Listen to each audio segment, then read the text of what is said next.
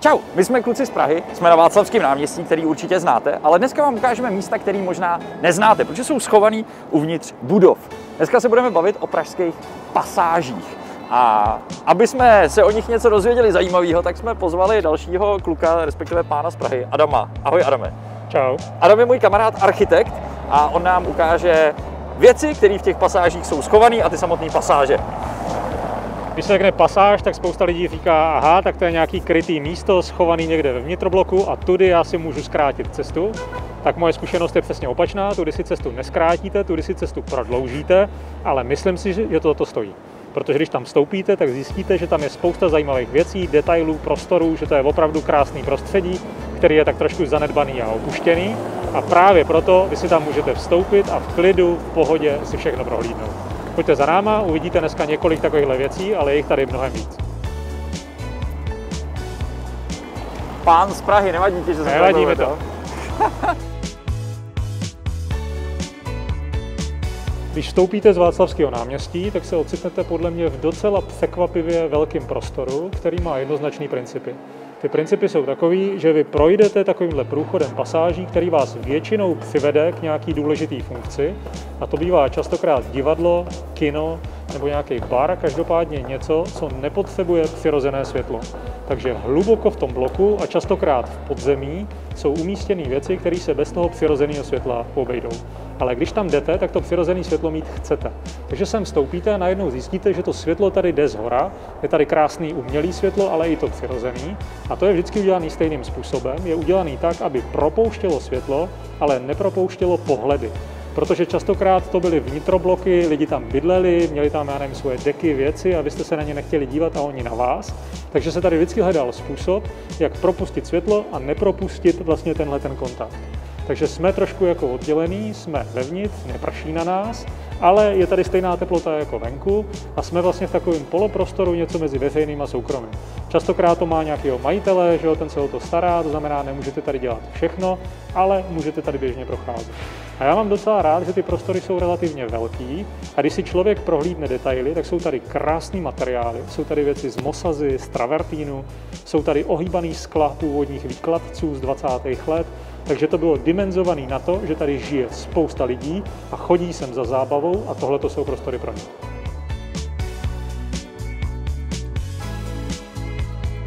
Takže já mám na vás v podstatě jednoduchou prozbu, když se sem vydáte a zastavíte se tady u vstupu do divadla, který je pod náma, tak opravdu se zastavte a dívejte se a hledejte, co by tady mohlo být zajímavého. A například zjistíte, že přímo nad váma jsou takovéhle nádherné hodiny, který, myslím, chytře využili tohohle, dá se říct, zbytkového prostoru, kam nejde přirozený světlo a zároveň prostě vycházejí z toho, že tady čekáte a za chvilku půjdete do toho divadla, můžete se podívat, kdy vám to začíná.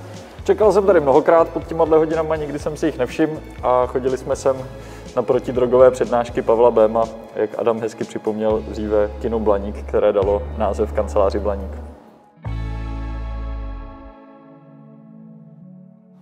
Jsme v ulici ve Smečkách, ušli jsme jenom pár metrů z paláce Fénix, takže teďka jdeme normálně po ulici, ale zase můžeme zahnout a okamžitě vstoupit do pasáže, do takzvané Štěpánské pasáže v domech otevřená Rosenberga. A když se na to člověk podívá zvenku, tak to podle mě není moc, jako že by ho to zvalo dovnitř. Takový jako úzký tmavý, tady dost šílený polep na mexické restauraci, u toho bankomat. A vy si říkáte, co já bych tam dělal. A možná, že vás ani nenapadne, že to je skutečně pasáž a průchod. Myslíte si, že to je nějaký slepý konec, ale najít slepý konec v centru Prahy je docela těžký. Častokrát zjistíte, že to fakt pokračuje, že musíte zahnout doleva, doprava, pokud možná pro něčím projít, ale že to jde. A proto to vždycky vyzkoušejte. Jak máte takovouhle možnost uvidíte, tak to udělejte. Nejhorší, co se vám může stát, je, že se budete muset vrátit. Ale to, když najdete, tak klobouk dolů.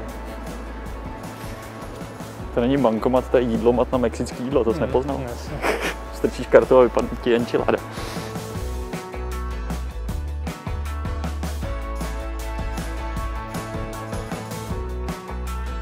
Kdykoliv já vstoupím do nějakého takového prostoru, tak mě baví si představovat, jak to tady vypadalo, když to bylo úplně nový, to znamená v roce 1938, ale především mě baví přemýšlet nad tím kontextem.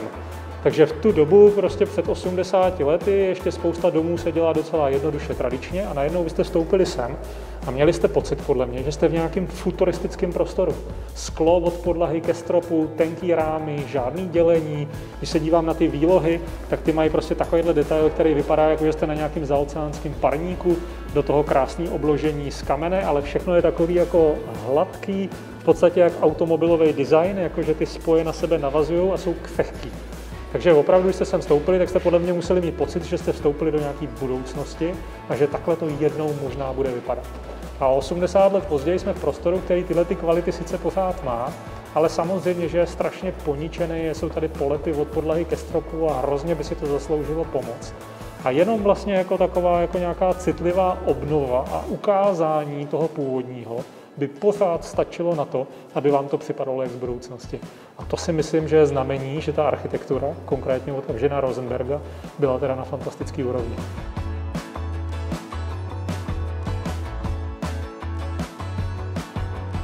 Prošli jsme na konec pasáže a na začátku jsem si stěžoval na to, že je v hrozném stavu a nevypadá to dobře jsou tam polepy na sklech, prostě, které by tam být neměly a vypadá to strašně lacině a nikdy byste dovnitř nevstoupili. A tady na druhé straně je to úplně obráceně. Tady najednou je kavárna Svim, která si myslím, že to dělá vzorným způsobem. Na sklech žádný polepy nejsou, ty věci jsou normálně odhalený, vyčištěný, vy vidíte dovnitř, vidíte vlastně, že vevnitř je kavárna, takže to žádnou velkou reklamu nepotřebuje a já si myslím, že to takhle úplně stačí a ukazuje to tu kvalitu té původní architektury. Když byste vstoupili z této strany, tak si řeknete, wow, tak to je docela slušný, jako když se člověk podívá na ty detaily, na ty ohýbané nerezy, na ty velké kusy skla, tak jako opravdu tehdy, jak jsem říkal, to působilo futuristicky a mě baví, že to tak působí pořád. Znamená, jako tahle věc vypadá ultramoderně, přestože je vlastně takhle stará, teď je stará jako naši prarodiče.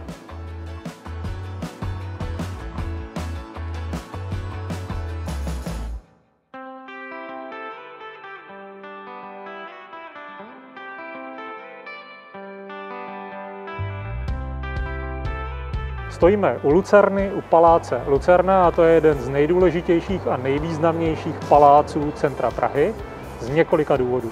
Za prvé to je jedna opravdu z prvních moderních staveb. Když se na to člověk podívá zvenku, tak by si to netypnul, protože to vypadá docela historicky, ale ta konstrukce je krásná, jednoduchá železobetonová konstrukce a kdybyste viděli jenom ji, tak byste si mysleli, že to je úplně současný dům.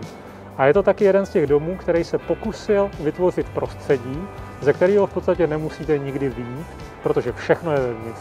Můžete tam bydlet, můžete tam pracovat, můžete tam chodit za zábavou, chodit na jídlo, trávit čas v tomto společném veřejném prostoru. Takže takhle opravdu multifunkční blok, v podstatě se dá říct, malé město v jedné parcele. A my, když dovnitř vstoupíme, tak zjistíme, že ty pasáže jsou docela krásné, ale že tam není jenom jedna pasáž, že se větví do několika dalších směrů a můžeme vstoupit do Rokoka nebo u Nováků a to všechno je propojené do jednoho systému. Takže někdo tehdy řekl, ano, máme tady samostatný individuální domy, ale můžeme je propojit tímhle tím systémem a bude to výhodný pro nás, pro všechny. Vstoupí dovnitř víc zákazníků a může tam strávit další množství času. Funguje to do dneška.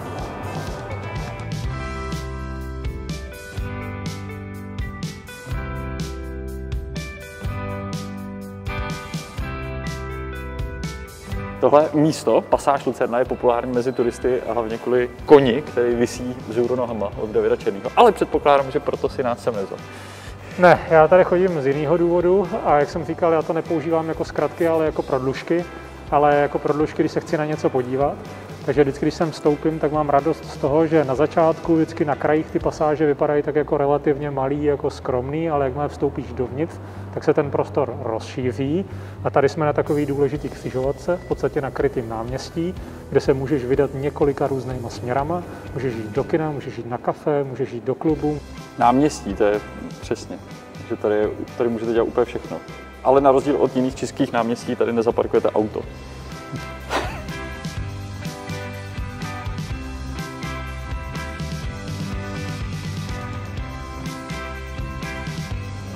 Lucerny jsme prošli pasáží do dalšího domu, do domu u Nováků.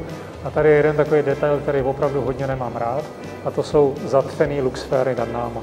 Normálně to je to řešení, který propouští přirozené světlo, takže tady by mohlo být dost přirozeného světla, A není, protože z hora je asfalt, lepenka, je to zatřený, protože to je nejjednodušší způsob, jak zafídit to, aby to neprotíkalo vodou.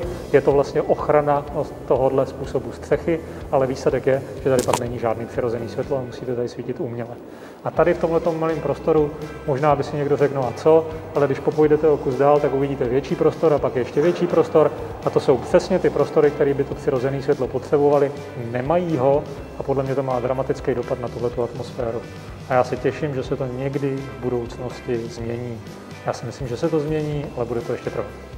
Adamova konspirační teorie je, že kvůli tomu, že je tady teď tma, je tady kasíno ne kasíno, ale je tady uh, typ uh, obchodů a provozů, který by tady možná nebyly, kdyby tady to přirozený světlo bylo.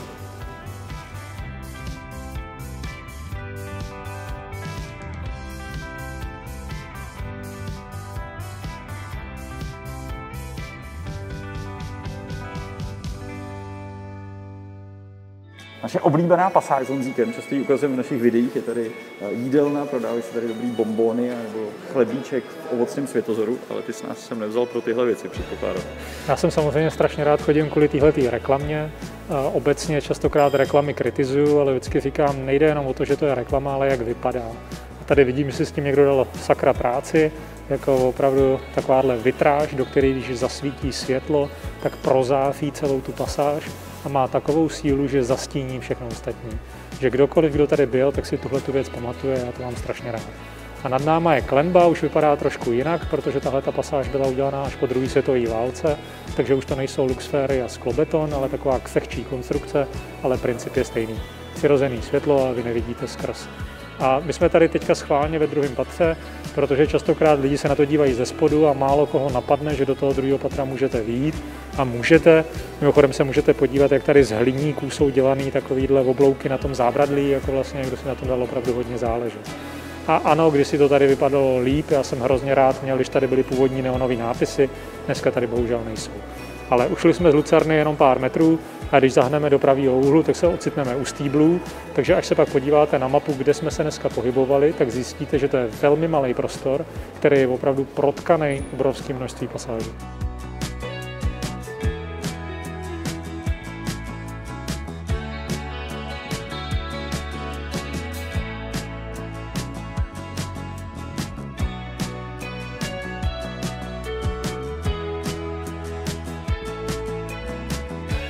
Začali jsme na Václaváku a jsme zase zpátky na Václaváku, jenom asi o 300 metrů níž. Prošli jsme pár bloků a pár ulic a podle mě jste museli vidět, že jsme procházeli docela zajímavýma a bohatýma prostorama na velmi malém kousku města. Takže to znamená, že když se vydáte i do jiných částí, tak takovéhle věci najdete taky. Najdete starší pasáže, novější pasáže a nejenom v Praze, v celé řadě jiných českých měst. A myslím si, že teď je ta správná doba takovéhle věci procházet, prohlížet, prohlížet zblízka, věnovat se detailům, protože nejsou tak používaný, ten čas na to teďka je a najednou opravdu můžete zjistit, že to vaše město je docela zajímavé. Já nesnáším, kdykoliv někdo řekne, Prahu znám dokonale, Brno znám skvěle, podle mě to není pravda, takový lidi neexistují, ty města jsou tak komplexní a tak bohatý, že neexistuje někdo, kdo by je dokonale znal.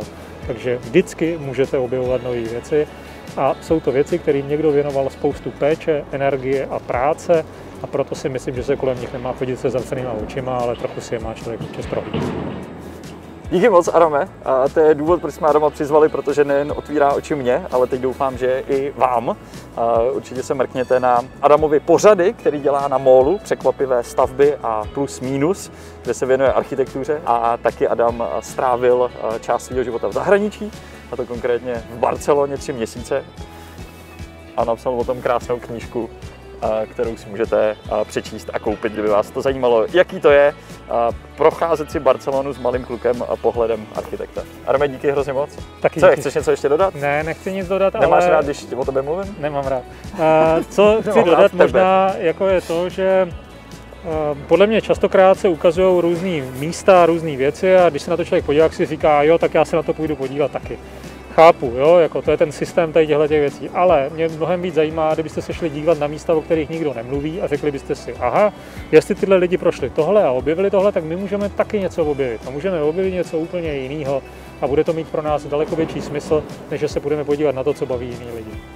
Jinými slovy, co Adam taky trošku říká, jestli já to dobře chápu, je, nemusíte se jít konkrétně podívat na ty pasáže, které jsme vám ukázali, ale přesně objevte pasáže ve svém městě, objevte pasáže jiný, které jsou v Praze, je jich strašně moc, některé jsou nově zrekonstruovaný, jedna na Nároce z hnusný pasáže, kde se chodilo čůrat, se udělala krásná kavárna, tak myslím, že, jak říkal Adam, ani já, ani on, ani nikdo jiný nezná Prahu dokonale a máme stále co objevovat. Usmíváš se aspoň někdy? Promiň, tady máš zpátky tu knížku. A anglický slovo na závěr je jednoduchý, bude to architekt, což se anglicky řekne architect. Architekt je architekt. Mr. Mosby, architect.